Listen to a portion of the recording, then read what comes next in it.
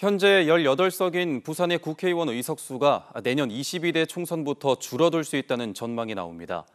인구가 급속히 늘어난 인천이 형평성을 거론하며 부산과 의석수를 맞춰달라고 압박하고 있기 때문입니다.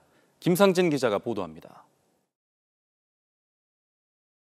현재 부산의 인구는 약 335만 명인데 의석수는 18석, 인천의 인구는 303만 명인데 의석수는 13석, 인구는 30만 명 차이인데 의석수가 5석이나 차이가 나는 건 불공평하다. 내년 총선에서 의석수를 늘려달라는 인천의 압박이 거세지며 상대적으로 부산 의석수는 줄어들 거란 전망이 나옵니다.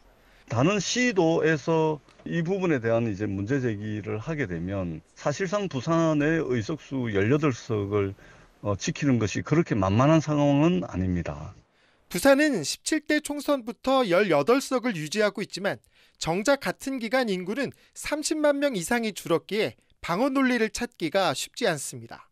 현재로선 인구 기준 하한선 아래로 내려간 부산 남구 가불만 합구된 채 의석수가 한석 줄 가능성이 높습니다.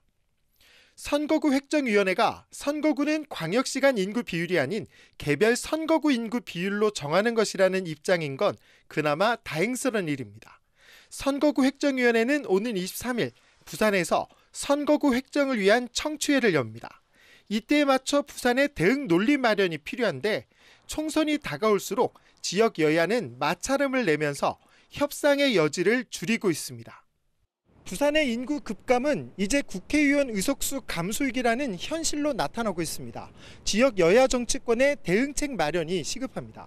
서울에서 KNN 김상진입니다.